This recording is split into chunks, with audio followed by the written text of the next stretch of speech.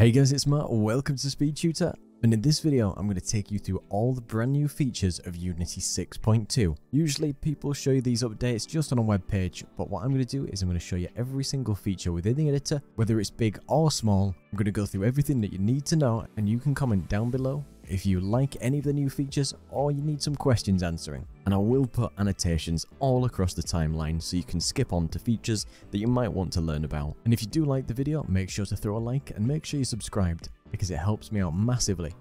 And do be sure to check out my Patreon too to get over 225 different scripts, assets and projects you cannot find anywhere else. Now we're going to look at the new feature called Mesh LOD, and it's all about creating level of details for meshes when you import them, so it's all about reducing the polygon count and improving performance whilst keeping a very minimal memory footprint. So in this example here, we've got a monster that's about 36,000 triangles, so it's a relatively high poly creature, nothing out of the ordinary really, but when you import any mesh, just like this one, you can select the imported mesh that you want to use. If not, you can drag anything into your scene, and if you go to the renderer, you'll find the mesh that the object uses, and you can just find that within your project setting. Now in the inspector, usually on the right hand side, you'll have the import settings. Further down, you'll have something which is a tick box called generate mesh LODs, and all you need to do from there is hit apply. Then if you go back to your project panel, find the model that you were just using, go to the mesh filter slightly below, and then you'll see a representation of your model there. In the little scroll bar just above, you can cycle through the LOD levels that the object has. And then when you move away from any asset within your game, the further away that it is from your camera, it will do it automatically and reduce the resolution. You can change that on a per object basis if you adjust the LOD selection bias by if you move it lower, it will mean that the LODs don't come in quite as soon, or if you make it higher, it will make them start earlier depending on your asset. Now, if you want a project-wide example, you can go to Edit, Project Settings, and then when there, you can navigate to Quality, and further down, you'll have the Mesh LOD threshold, which you can reduce or increase depending on how late or early you want it to affect objects. But remember the override is per object in the actual mesh renderer. But again, this is a feature that's meant to happen in the background, so you're most likely never going to see it unless you specifically add the wireframe and you watch the resolution change. And you can even watch my full video where I detail all the features, additional features, and all the customizations that you can make. And if you're somebody who's a fan of 2D features, and these changes are for the sprite editor, which has a preview sprite changes in the scene view. So when you tick that, you'll be able to see rect transform and pivot position changes in the scene view if you need it. Now you do need to make sure that in package manager, so window, package management and package manager, you go to Unity registry and make sure 2D Sprite is actually installed. Now there's another cool new feature that you can add and it's called 2D Enhancers and if you install that you will get this little tab down the left hand side. It is all involved with AI so you can generate, you can refine, you can upscale, you can remove the background, pixelate. So let me just give you an example. I can choose the pixelate tab. It has the generations for the AI. It has the settings of how big you want the pixels to be, and you can just literally hit generate. Once that's run through, it only takes a little bit of time. You can select the preview in here, and you can see how it changes if you want. What you can do is you can just drag that into your textures. You might want to convert that to Sprite 2D and UI, and then you can open that in the Sprite editor, and you can do all your changes as you could normally expect. You've got a brand new garbage collection option on scene load, so usually Unity would get rid of any unused assets and things in memory when you load a scene just to save on memory usage. But sometimes if you've got a lot of different assets in there, it can make loading scenes very slow and very sluggish. So you've got an option to untick it, so when you move scenes, it won't do it. And you could find this within Edit and Project Settings. And if you move to the editor, you can find under Scene Handling the forced asset unload and GC on scene load. And also, if you're a fan of the UI toolkit, they now support the world space UI, so you can position 3D UIs in the world, which you couldn't previously. And the way to do this is the render mode of your panel settings is originally could only do screen space overlay. Now you can set that to world space and then you can start using the UIs in that particular way. And there is loads of extra information on the documentation if you're a fan of UI Toolkit. There's also customization for text rendering with the new text element.postprocess text vertices, which is an API to modify the mesh vertices of each glyph immediately before UI Toolkit renders them, so you can customize position, tint, UV controls, and text at a very low level. There is also a brand new advanced text generator, which allows you to do things like best fit and automatically adjust sizes based on containers, so it enhances flexibility. Then if you do want to enable this, you can go to Edit, Project Settings, and if you select UI Toolkit on the left, and then you can enable advanced text generator at the very top. Then you'll be able to apply this by selecting any visual element, going to the inspector tab and go into the inline styles and text and go to the text generator drop down when select advanced. There is actually a brand new graphics feature which is called the pre-pass layer mask and you can see that in your URP renderer asset. It's called the pre-pass layer mask and you can select a layer here. And this works by choosing a layer that objects would have to be included in the depth pre-pass. So if you've got an asset which maybe uses a custom render feature or it has a custom shader, doesn't specifically get taken into account by let's say the decal system or the ambient occlusion, this will allow them to work properly and to allow them to be rendered as long as they're on the very particular layer. I wanted to take you over a few things that have been updated with HDRP specifically, and the DLSS that Unity had has been upgraded to DLSS 4 Super Resolution, which will have enhanced upscaling for performance and image quality too. And for any local volume component, like you can see here, this sort of ground smoke that's in this scene, you'll be able to fine tune the scaling relative to specific objects in the scene with a new scale mode. And you can see that in the inspector on the scale mode at this side, which is inherit from hierarchy or scale invariant. So you can adjust these if they're relevant settings to you. There's a new water sample in the water samples package featuring a deformation map using the spline package that the Unity have added. And if you are in HDRP, you can go to Window, package management and package manager. And if you go to the in project tab and you go to the high definition and render pipeline and you go to their samples, you can install their water samples, which is from their package. And you can head over to the current with splines. And this one has a demo with the glacier scene, which has brand new information on current with splines, the water surface debug, and the spline to texture. And it's got a brand new spline container to be able to do cutouts and deformation within water. As of currently recording this in 6.2, we do still have Unity AI, which is in beta, which is not activated by default, so you won't get in here and it start learning from any of your stuff. And remember, because Unity AI is still in the beta phase, you've got as many points and you can do as many generations as you want.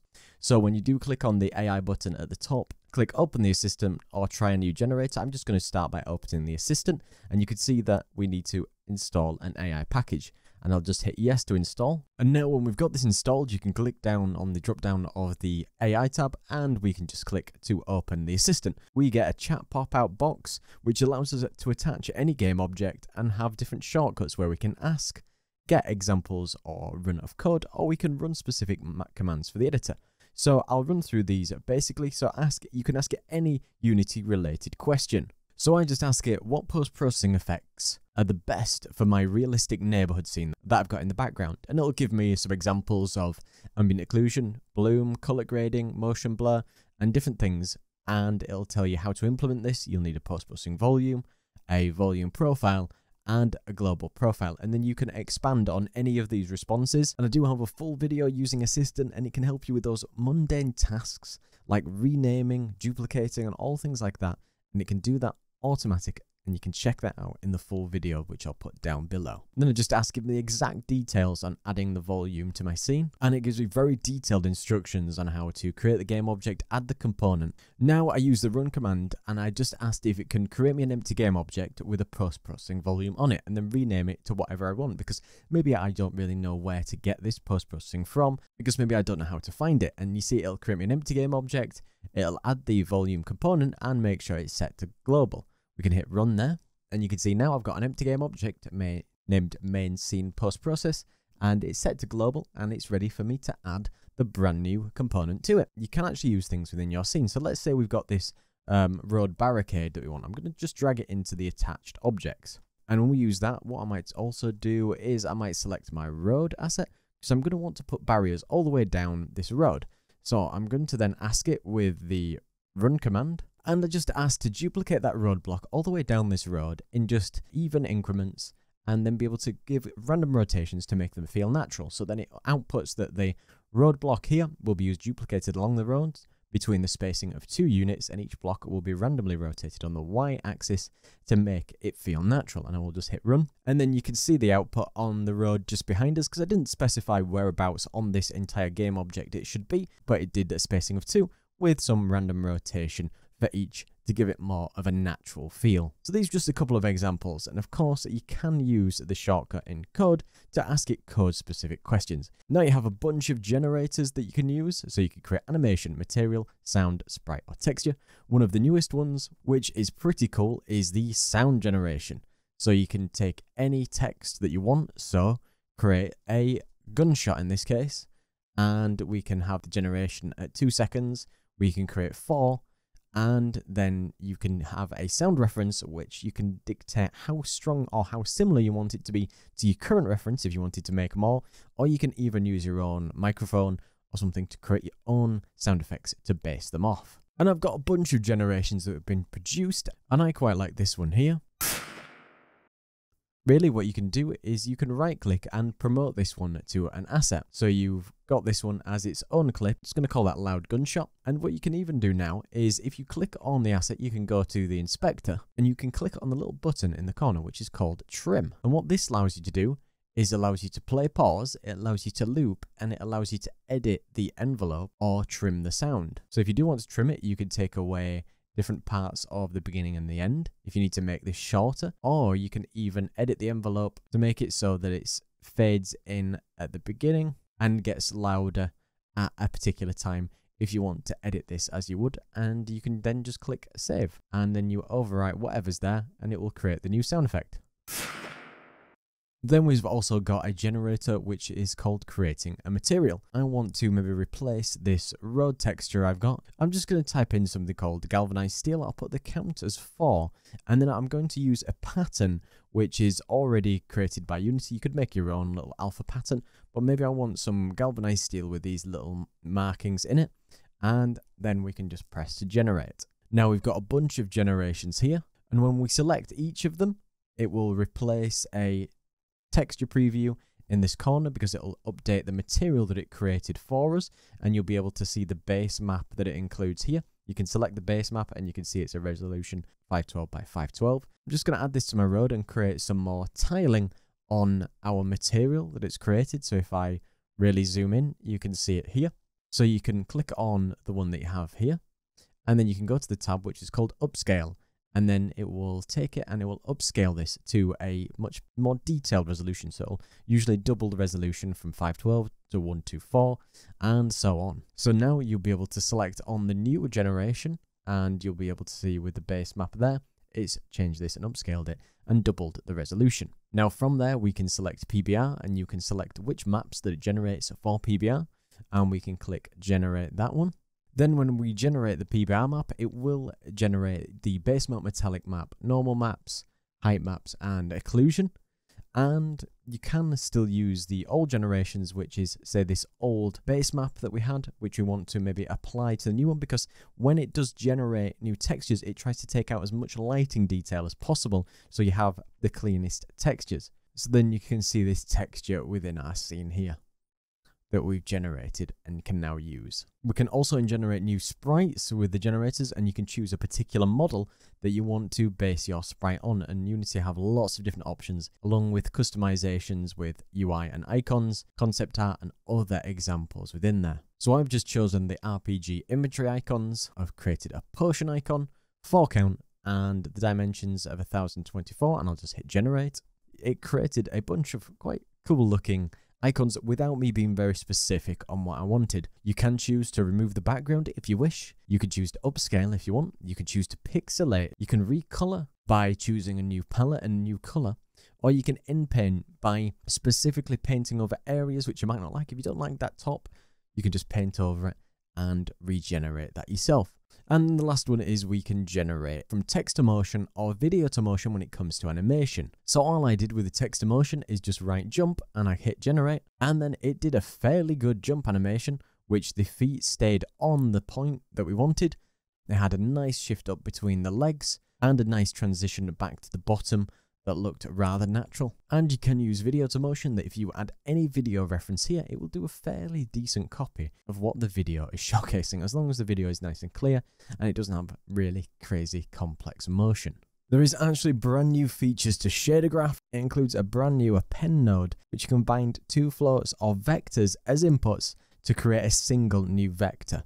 And it's a great way to help combine these and you no longer need to use split nodes or anything to combine them together. And this brand new dynamic branching options. This is directly used for the shader graph keyword definition parameter, and this allows you to balance the impact of keywords on performance during build time or at runtime. There is also improvements to the support of material property drawers and attributes. So they've added read-only, custom attributes, enum, and a new slider mode to be able to add floats and properties of different types with a nice slider. You'll notice that within build profiles now, it does have a message that in 6.2, diagnostic data is on by default for new projects and you can learn more or dismiss that there. There is actually a brand new build profile if you click add build profile and you can add a brand new web profile which you need to install the package via the Unity Hub, but it has a bunch of configurations ready for applications that want to be released on mobile or desktop. Specific for Android platforms, they now have support for Android SDK 36. And for all new Android specific projects, there will be brand new application not responding errors in the Unity Diagnostics feature, which you can find in your dashboard. There's a brand new Unity Vehicles package for ECS, which covers a wide range of vehicle types and configurations. And you can actually get this from the package manager if you go to the drop down and install package by name, and we just put com.unity.vehicles and we just hit install there. Then you can head over to the samples tab. When it's installed, you've got the minimal and the advanced vehicle sample. And once you've installed the samples, you want to head to Unity Registry and start typing in entities and you want to install the entities graphics package in here because then it will allow components and systems to be rendered. I've just opened the advanced vehicle scene so you can check this out for yourself. So when you run this scene it's considered medium in terms of realism and it's got the ability to adjust drifting, controls with the car, acceleration. It's got loads of different ramps and other things. It reminds me of sort of a Hot Wheels or something like that, where you can do loop de loops and other style things where you can see that this card does grip onto other objects. So it's a fairly good little thing to mess around with if you want to get to grips with the ECS system. Unity do also have brand new uh, diagnostic data control. So if you head to edit and project settings and you head to services and diagnostics, you can see that they have brand new control of deciding where your data will go and what it will be used for. So by default in Unity 6.2, the diagnostics data is enabled, and the only data here is to help Unity improve game performance, improve the engine stability and compatibility, and if you click on one of those links you'll be taken to the webpage. I do have a full video explaining all of this with all the in-depth details, so I do hope that you like this video. Make sure to throw a like and subscribe because it helps out massively. Do check out all the sales and all the content down in the description because I always keep it updated. And check out my Patreon too to get over 225 different scripts, assets, and projects you cannot find anywhere else. Massive thank you to Very Shuther and Party of 10 for their amazing support, and thank you to everybody else who comes to watch the video. Don't forget to like, comment, and subscribe. Cheers.